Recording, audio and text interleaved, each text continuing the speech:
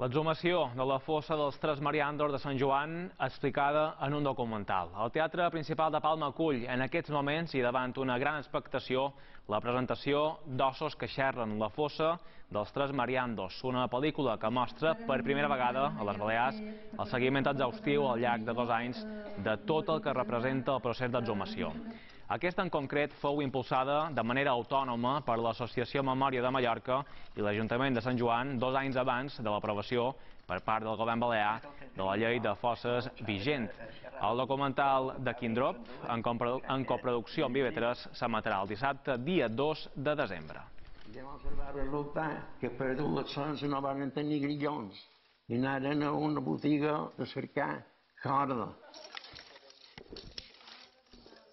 Aquest documental és el primer que se fa on podem veure el procés complet, no només de l'exhumació, que sí que el varen veure en el cas de Porreres, sinó tot el que ve després, és a dir, la identificació dels cossos, retornant-los en els seus familiars, com aquests familiars els, els se posen en el lloc on ells volen i no on els van deixar els assassins de mala manera, i això és tota una història que pedagògicament